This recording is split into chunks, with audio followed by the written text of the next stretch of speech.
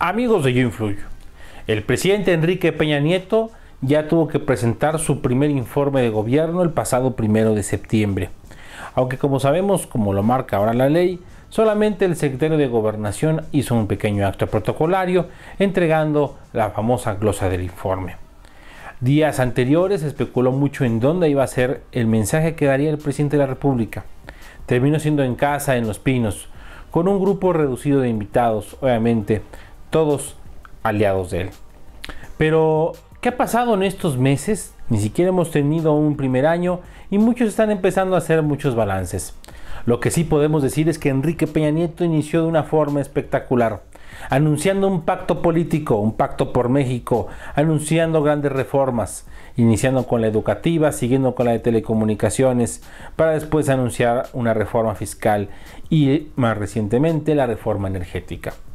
Pero parece que las grandes expectativas de Enrique Peña Nieto, eso que se mencionaba en muchos lugares que podría ser el momento mexicano, empezó a derrumbarse apenas hace un mes, cuando la economía del país se anunció no crecería el 4%, sino iría en un crecimiento a lo mucho del 1.8, con algunas expectaciones de algunos que dicen que incluso podría terminar el año decreciendo la economía.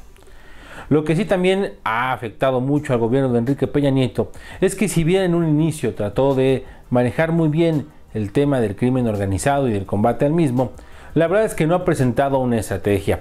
Ha mencionado que la gendarmería va a empezar hasta julio del 2014 y queramos o no, las guardias comunitarias, estos grupos que han surgido en algunas partes del país y que llevan ya más de 100, han puesto a temblar sin lugar a dudas al sistema del Poder Judicial y principalmente a quien tiene que ver por la seguridad de todos los mexicanos. Y no solamente eso, también hay que hablar de otro tema, el otro tema político. El tema que poco a poco ha ido desencadenando en las últimas semanas, la famosa marcha o el paro que han hecho los miembros de la Coordinadora Nacional de Trabajadores de la Educación. Poco a poco el gobierno de Enrique Peña Nieto estaba empezando a deslumbrar lo que puede ser. No podemos decir si es un fracaso o no, Tal vez usted, amigo, debe de preguntarse si en unos pocos meses se puede decir si es un gobierno exitoso o no. Lo que sí podemos decir es que la percepción del presidente va a la baja y que muchos de los ideales que siempre inician con un nuevo gobierno tampoco le están funcionando. Una crisis económica mundial también parece estarlo arrastrando. Vamos a ver qué pasa en las próximas semanas. Para yoinfluyo.com, Guillermo Torres Quiros.